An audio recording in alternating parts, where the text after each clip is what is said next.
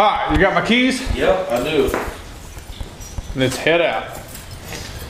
Get this garage door. Yeah, we're all going, buddy. Oh, nice. Community day today. We're all riding in the same truck. Nice. So this one here, basically there's five houses all the way down. I kind of showed you guys where it started. Show you the property line over here. It's basically right in front of those uh, bushes. So basically I usually just go right here. You see what I'm saying? Yeah. Right there, you can kind of see the difference. But it looks like, looks like that's already been mowed, doesn't it? Yeah. So just kind of pick a line right there. Go that way. Well, this whole side will be Walker. So basically what I, you know, whatever you can see from the street. Yeah. Yeah, so like today the 36 we'll do you know, basically right here, the house, right here, all the way down and all the middles. You know what I'm saying? Yeah. I cannot believe how windy it is. I know.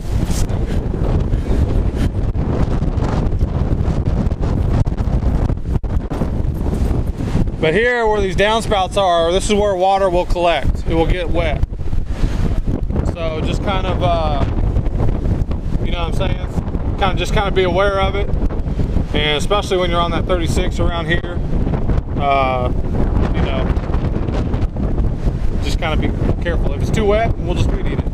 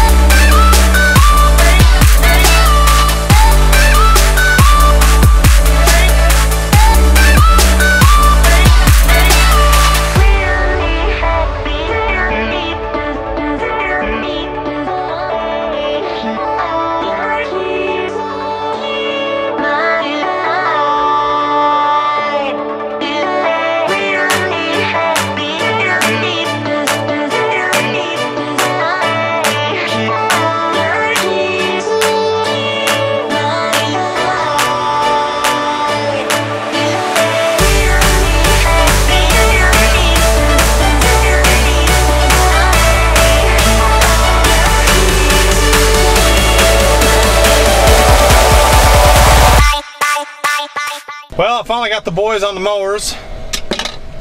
I think we're going to be in good shape. I really do. I'm pretty excited. So they, they seem to know what they're doing. Uh, you can kind of, you can tell, you can always tell when you're talking to guys that have been in the business for a while. When you, the, just the little tips and tricks that, you know, you just don't, you don't really know. You, I mean, you just kind of do. I mean, uh, like I was just telling Josh uh, to go blow off the backs, the patios, and I told him, I said, you know, an easy way to do it because it's in a kind of like a confined area and the wind just circulates like this. So the best way I found to do it is to actually point the blower at the house and the air will hit the house and blow it off. That way you've got enough room to get in there and blow it all out. If not, it will just kind of go all up in the air and settle back down. And he looks at me and he goes, yeah, yeah, I know, I know. So we just lost a uh, bag of mulch in the street. Dakota, is this, is this your job? Yeah. All right, have at it. Just don't let me blow away.